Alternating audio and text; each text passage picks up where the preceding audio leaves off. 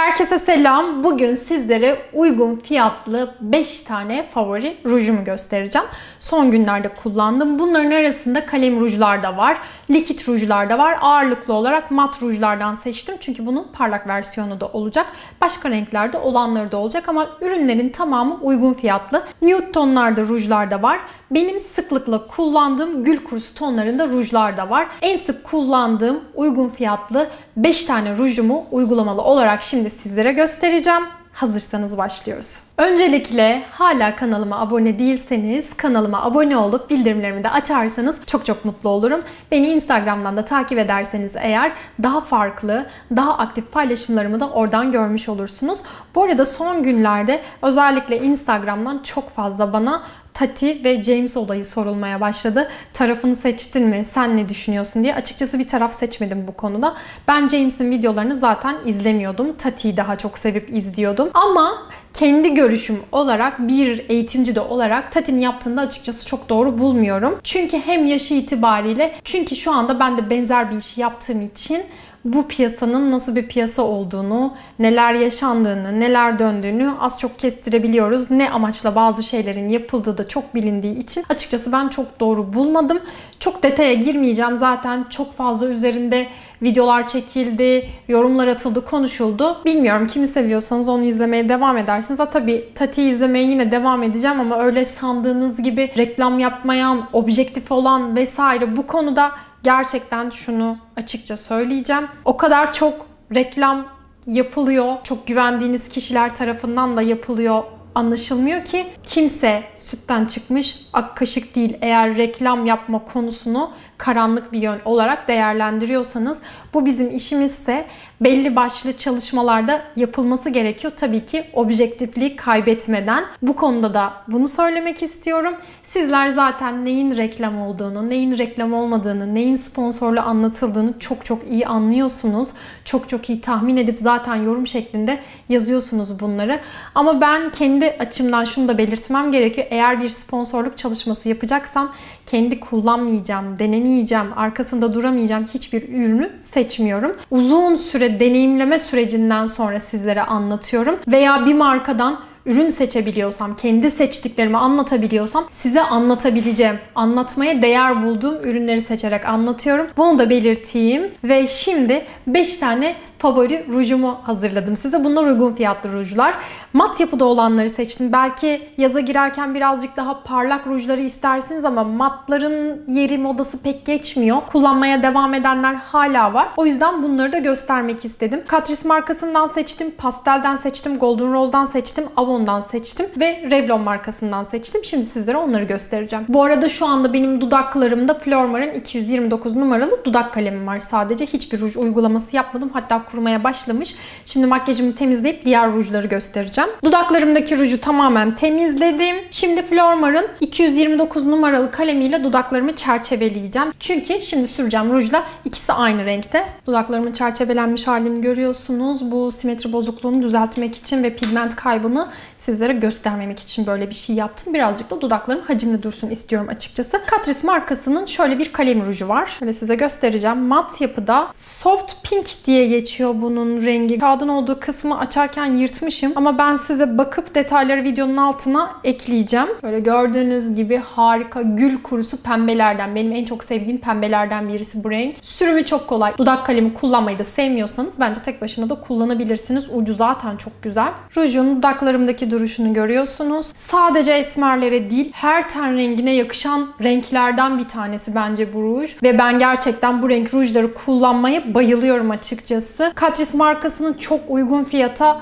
kolayca alabiliyorsunuz. İsterseniz web sitelerinden, isterseniz Rozmanlara gidebilirsiniz, alabilirsiniz. Kolay bir şekilde ulaşabiliyorsunuz. İndirim dönemini de takip ederseniz eğer daha da uygun fiyata alabilirsiniz. Bence etkisi, kalıcılığı, performansı, yapısı, dokusu, rengi her şeyi çok güzel bu rujların. Çok başarılı. Hatta pahalı markaların rujlarıyla bence yarışabilir nitelikte rujlardan bir tanesi. Uygulaması da oldukça kolay. Dediğim gibi isterseniz dudak kalemi kullanmadan tek başına rujunuzu uygulayabilirsiniz. Size bir birinci göstereceğim ruj bu mat rujlarından. Yine benzer renklerde bir kalem ruju uygulayacağım için dudak kalemini uyguladım. Bıraktım dudaklarımda. Şimdi iç kısmını dolduracağım. Golden Rose'un mat yapıdaki kalem rujları da çok başarılı. Bendeki renk 22 numara. Az önce gösterdiğim gül kurusu tonlarından biraz açık. Çok benziyor ama biraz açık tonda bir renk. Şimdi sürünce göreceksiniz zaten. Dudak kalemimle arasındaki farkı da görüyorsunuz. Yine yumuşacık yapısı var. Dudaklarınıza kurutan mat rujlardan sürmüşsünüz gibi hissetmiyorsunuz. Golden Rose markasına zaten çok kolay ulaşabiliyorsunuz. Hem kendi web sitelerinde hem kozmetik marketlerde sık sık indirime giren rujlardan birisi bence bu. Bu rengi benim favoriler videomda sık sık gördünüz. Şu dudaklarımın etrafındaki dudak kalemi Flormar'ın yine 229 numaralı kalemi. Bu ruju da dudaklarınıza tek başına sürebilirsiniz. Kalemin üstünden de birazcık geçeceğim. Koyu bir kalemle de bırakırsanız eğer dudaklarınızı olduğundan daha hacimli de gösterebilirsiniz kullanabilirsiniz. Bu çok gül kurusu değil ama açık pembe rujlardan birisi bence.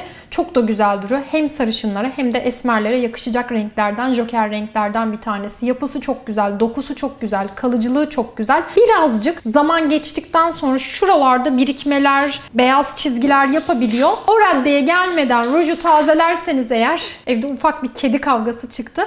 Aslında ben şu anda makyaj odam aynı zamanda onların yemek yedikleri tuvaletlerine giden bu kapalı balkona da açılan bir oda. O yüzden sık sık kapısını çıkarttım odanın. Oda turunda göreceksiniz zaten.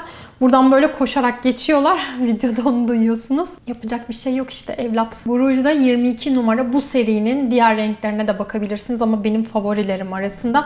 Yaz gelmişken birazcık daha açık pembeleri kullanmak istiyorsanız, bu tonları kullanmak istiyorsanız deneyebilirsiniz. Sürümü çok kolay. Yapısı çok güzel. Gün içinde birazcık toparlanmalar olabiliyor. O kadarı da olsun zaten.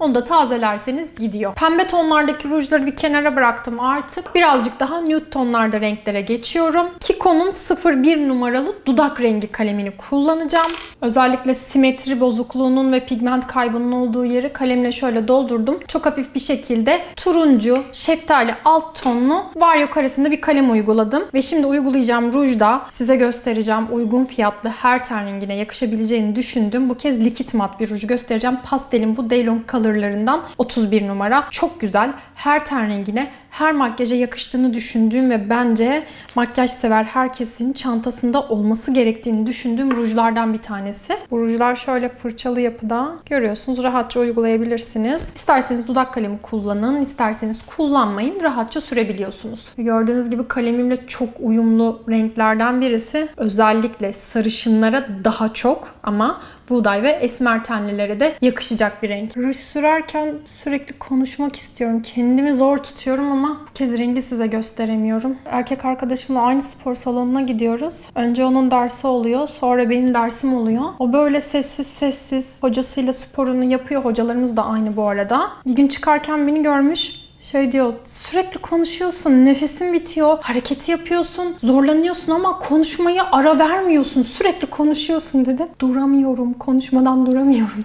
Gerçekten sürekli konuşuyorum. Ya bakın ruju sürerken yani bunu niye anlattım bilmiyorum ama anlattım işte. Pastel Daylon Color bu likit mat rujların 31 numarasının benim dudaklarımda duruşu böyle özellikle sarışınlarda çok daha iyi duruyor. Bizdeki duruşu da böyle. Joker renklerden birisi. Bu rujları biliyorsunuz zaten mat yapıda. Dudaklarınızı çok iyi şekilde nemlendirmeniz gerekiyor. Bir süre sonra dudaklarınızı kurutabilir.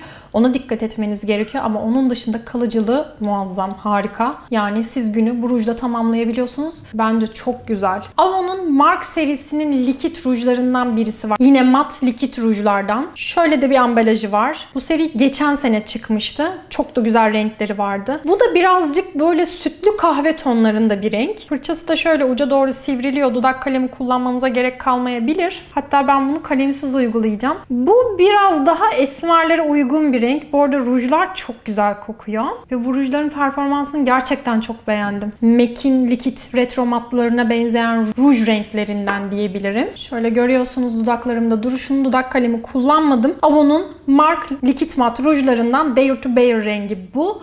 Bunlar da sık sık indirime giren zaten uygun fiyatlı olarak satılan ürünlerden, markalardan birisi Avon.